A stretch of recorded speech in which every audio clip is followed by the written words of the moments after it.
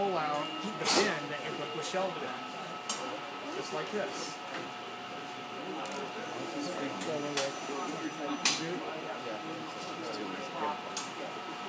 Then the crane would send it upstairs to the circulation. And as you can see, the crane moves pretty quickly. Um, once it gets all the way to the top, if this were a real request, the crane would then slide the bin into a small dumbwaiter elevator that would then lift it up the remaining few feet or so to the level of the dome. But instead, what I'm going to do is I'm going to make it come back down so that we can look and see inside the crane.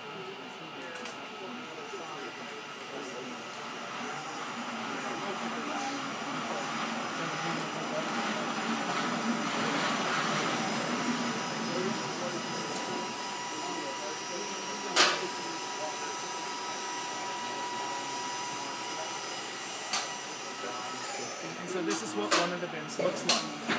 And we normally would do this upstairs at the circulation desk, but you know it works the same up there as it does down here. What would happen now is if this were a book request, the system would be displaying the barcode of the book and the section of the bin